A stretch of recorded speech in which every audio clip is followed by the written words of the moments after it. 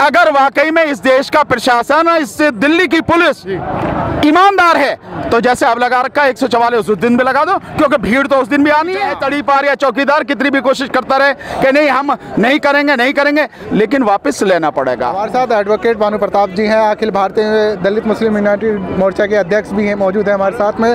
और मुंबई से आए हुए कुछ मेहमान बेन से बात करते हैं सभी यहाँ। अशोक बहादुर साहब। अशोक बहादुर जी मौजूद हैं। और यहाँ इस वक्त इंडिया गेट पर हैं काफ़ी सारे लोगों से बात कर रहे हैं। हो सकता है ये खबर आज हम शूट करें थोड़ा लेट पहुँचे लेकिन इनसे बात करते हैं किस तरह से आज ये समर्थन कर रहे हैं। सर सबसे पहले जानना चाहूँगा सरकार तो अपनी हटधर्मी छोड़ नहीं रही है बिल्कुल भी। नहीं तो हम भी नहीं छोड़ेंगे सरकार नहीं छोड़ेगी तो क्या दिक्कत है। देखिए, हम बहुत सिंपल सी बात करते हैं। सरकार के पास संसद है। संसद में उसके पास संख्या है।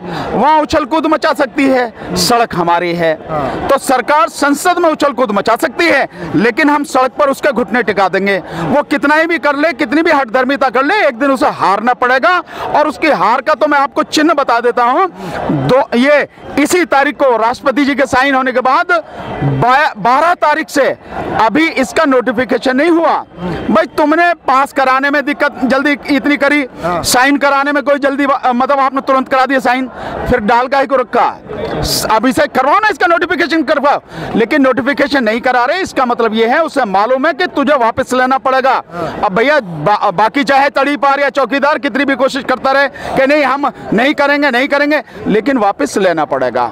और ये जितने भी लोग हैं इनका जो प्रण है इनका जो डिटर्मिनेशन है आप सब देख रहे हैं और ये, ये अकेले नहीं है। पूरा देश इन सबके साथ में और इस बार छात्र सड़क पर है। तो छात्र की ताकत वो जानते नहीं नौजवान की बड़ी कहते थे कि नौजवान फ़र्स्ट वोटर मुझे वोट दे। अब ले लेना सारे के सारे नौजवान है वो बता देंगे क्या वोट देंगे कैसे करेंगे। कुछ और लोग कंफ्यूजन में है वो ये नहीं समझ पा रहे हैं इसका नुकसान क्या छोटी भाषा। जी मैं समझना देखिए, बहुत सिंपल सा नुकसान है। देखिए एक तो सबसे बड़ा नुकसान ये है कि ये देश के संविधान पर बहुत बड़ा प्रहार है। देश के संविधान का अपमान है। हमारा संविधान लोगों में धार्मिक आधार पर किसी किस्म का भेदभाव नहीं करता, जातिगत आधार पर भेदभाव नहीं करता, इस तरह की कोई वो नहीं है। धर्म निरपेक्ष हमारा संविधान है। और जो आप कानून आप लेकर आए हो, वो कानून धर्म के आधार पर भेदभाव करता है। जो हमारा कानून है, उसकी प्रस्तावना को पढ़ा जाए और उसके साथ साथ में अनुच्छेद चौदह को पढ़ा जाए, जो समानता का अधिकार देता है। वो समानता का अधिकार इस देश के केवल नागरिकों को नहीं देता। दुनिया में कहीं भी कोई इंसान रह रहा है, अगर वो हमारे देश में आता है तो धर्म के आधार पर, जाति के आधार पर, लिंग के आधार पर, भाषा के आधार पर, क्षेत्र के आधार पर, किसी तरह का भेदभाव, स्त्री या पुरुष के आधार पर, किसी तरह का भेदभाव किसी भी व्यक्ति के साथ नहीं किया जाएगा। सिटीजन ही नहीं, सिटीजन से भी आगे व्यक्ति के साथ नहीं किया जाएगा। और ये सीधा सीधा उस तरह का जो है भेदभाव कर रहा है। जब आप लाना चाह रहे हैं, बड़ा आपका दिल है, बड़े आप धर्मात्मा हैं, देवता हैं आप तो आप लेके आ रहे हैं पाकिस्तान से, अफ़गानिस्तान से, बांग्लादेश से। आप बौद्ध को लेके आ रहे हैं, जैन को लेकर आ रहे हैं, सिख, ईसाई, हिंदू को लेकर आ रहे हैं आप आप पारसियों को लेकर आ रहे हैं तो आप मुस्लिमों को क्यों छोड़ रहे हैं? और बार बार मैं इस बात को कहता हूँ कि ये जो आप लेकर आ रहे हैं इसका आधार क्या है? ज़रूरत क्या? बनाया हुआ है ना कि हमने मुस्लिमों को पाकिस्तान दे दिया बांग्लादेश दे दिया इनके बाप का था इनके बाप का था दे दिया इन्होंने। अबे मुस्लिमों का देश ये पहले भी था आज भी है और हमेशा रहेगा। तड़ी पार तुम थे तुम ही तड़ी पार होगे। ये देश हमेशा से था।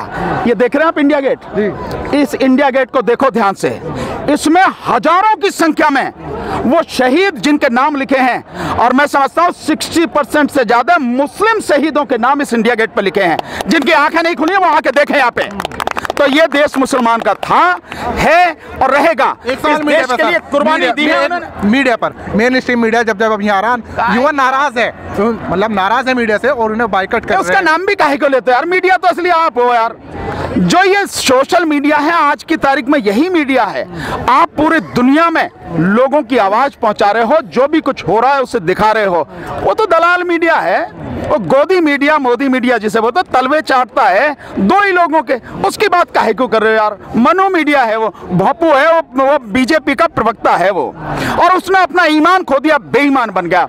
उसकी बात करने की ज़रूरत नहीं है वो वही दिखाएगा जो उसे दिखाना है और जो उसको गाइड किया जाता है।